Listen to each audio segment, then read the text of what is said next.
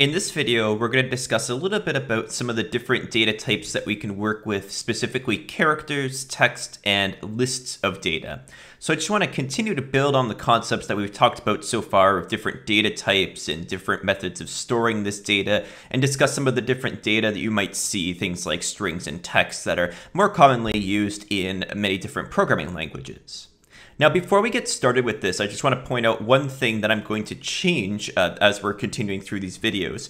And that is when we work in GDB, what we see is GDB by default uses a different syntax from what NASM uses for its actual x86 programming.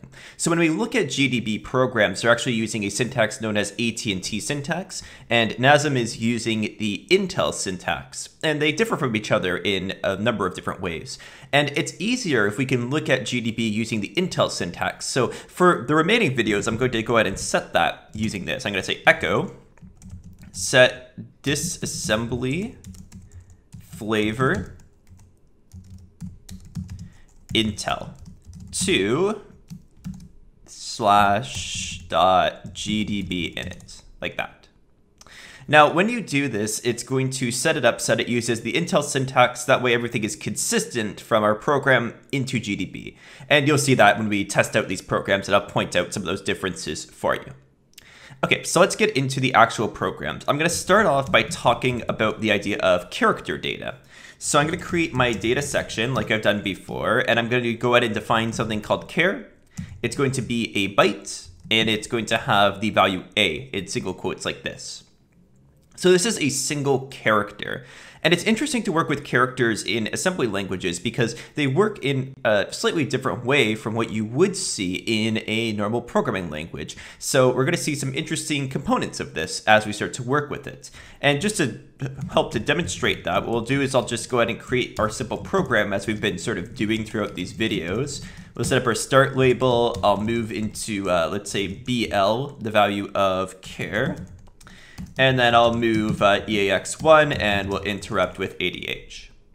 And what I'm going to do is I'm just going to go ahead and I'm going to assemble and I'm going to run this. And I'm going to show you what the result is. So let's go ahead and do that. So we're going to say um, NASM elf o, uh, we'll do data.o, data.s, and I'll do ld for elf i386, data, data.o.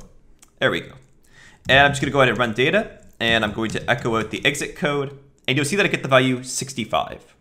Now, if you aren't too familiar with low-level programming and sort of the way that things are stored, 65 may seem like a sort of weird result. Let's talk a little bit about that. What happens is when we work with anything in a low-level language, it's stored as numeric data, specifically as binary data. So really when we're like abstracting completely down to the hardware level, everything is binary. It's really electrical switches turning on and off. So when we want to store something like the character A, your computer doesn't have some explicit way of storing specifically A. What it does instead is it encodes that value in a way that it has a numeric value that represents that letter. And there's a few different encodings that exist. ASCII is one of them, and uh, there's a few others like uh, Unicode, for example, that can deal with larger sets of values. And basically, what happens is in all of these encodings, a specific number is assigned to every single letter and symbol that can possibly be displayed. So in this case, 65 represents the capital letter A. So when you work with letters in assembly languages, you're going to see them represented as numbers. So it's helpful to keep in mind this idea. If you ever want to figure out what number represents what letter, you can just look up the ASCII encoding and take a look at that. That will help you with these x86 programs. Um, so you'll be able to see like 65 goes to A, uh, 66 goes to B, and that sequence continues on with the capital letters. And then the lowercase letters get their own numbers as well, and then so do all the different symbols, and you'll see those as you continue to work with them. So that's the first concept that I want you to understand is that um, we don't store these as letters, we store them as numbers. The numbers represent the letters. And you'll see that when we work with things like uh, C programs and this sort of idea, what happens is it's able to translate these numbers into letters to display them on the screen. And that's the process that goes through when we get up to these higher level languages. But just keep in mind, all of these are going to be numbers when we're working with them in our actual programs. So that's the first thing that I wanted to mention. The second thing that I want to show you is the idea of lists of values. So you can define like lists of values, like a one, two, three, four, like this. It's very simple. You just separate them with commas, and every single one of these will be a, uh, a byte in size since we're defining it as a byte. So I'm just going to change the name of this to list just so that it's a little bit more fitting. And uh, what we'll do is we'll change this here to list. And what I really want to show you is I want to show you what this looks like in memory when we store data like this. So let's go ahead and do that. So we'll just go ahead and go through our same um, assemble and uh, LD here. And I'm going to GDB this now. So GDB data. And we'll change the layout to ASM. I'll break at start, and then I will run. And taking a look at the syntax now, you can see the difference between the Intel and AT&T. You can see that this matches way closer to what we have in our program. You see that we're moving like one into EAX, for instance, before it had like the percent sign to represent the register. And I think even the operations were flipped. I think typically in uh, in uh, AT&T, it's flipped compared to Intel. So this is a bit easier to read. Um, don't get too concerned about this byte pointer DS uh, 804A000. You can see the address still there, right? the 804A000. Uh, byte pointer just means that it's a byte in size and that the address is pointing to a piece of data in memory. If you're familiar with C programming, you'll know the idea of pointers. Pointers are variables that point to a value. And that's what this is doing. It's, it's an address that points to a value in memory. So that's sort of the way that that works. The main things that we want to see here is if I do x over x of 0x804A000, is the list of values that I stored. And you can see that they're all stored sequentially, much in the way of me defining like two separate variables, right? We have a four, three, two, one. So that's that's the way that that is set. Now, what's interesting about this, it's something that I sort of want to get you thinking about, is when we're looking at memory sort of around this, you'll see that um, most of memory is going to be initialized to zero. But sort of an interesting idea here is that we don't really know how big this list is in memory. Uh, mostly that we don't know where the list actually ends, right? We don't really have much of a reliable way of knowing where this list is going to end when we're working with it in memory. And this becomes a really interesting problem in x86. What you want to do when you're declaring a list, just to give you some intuition here, is you always want to have something that indicates the end of the list. So suppose that I was working with positive values. Something that I could do is I could put like a negative one at the end of it to indicate that that's the end of this list. And basically, if I ever want to go through this list, I could say keep going until I reach that negative one, and I know that that is the end of the list. I could explicitly put a zero if I know that zeros won't be in that list. But really, the main idea here is that you need something at the end of the list that indicates that this is the end of the list. We typically refer to this as a null terminator. It tells us where the list has ended, so that way we actually know where to stop iterating.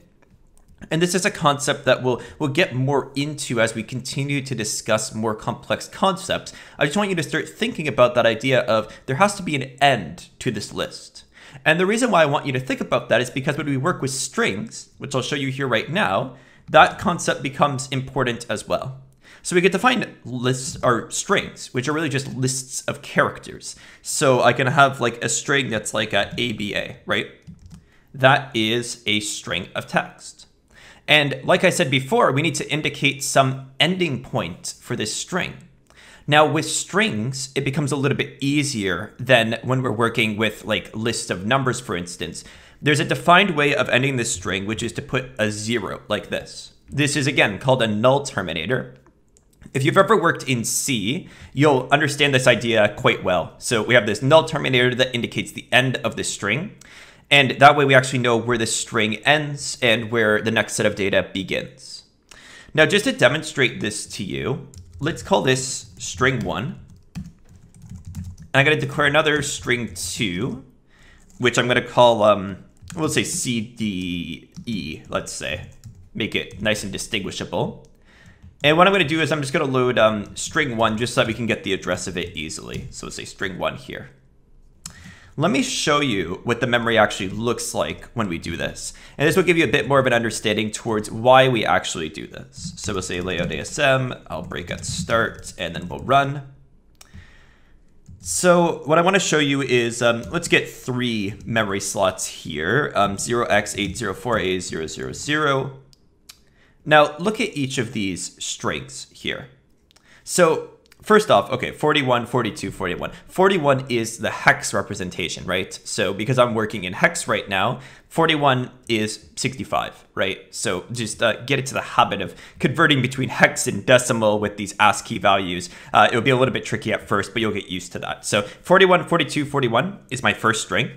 And then notice the zeros before we get to 45, 44, 43. 45, 44, 43 is the next string in the sequence, right? That's the um, CDE string. The zero indicates that the first string, ABA, has ended, right? Do you see how that zero sort of creates a division in memory between the first string and the second string? It gives a defined ending point so we know actually where that data ended. If I didn't put that zero, the 45 would appear where the zeros are now. And if I were trying to go through the first string, it'd be 41, 42, 41, and then I'd hit 45. I don't know if 45 is a character in the string or if it's a new string, right? So you can see how that problem is created if we don't have that null terminator. We don't know where one slot of memory ends and the other one begins.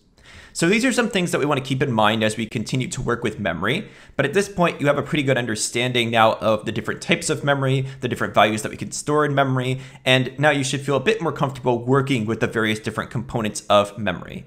So thank you for watching this video. In the next video, what I'm going to do is I'm going to talk to you a bit about uninitialized data. Rather than initializing data, we can actually write uninitialized data. So that would be an important component to talk about next.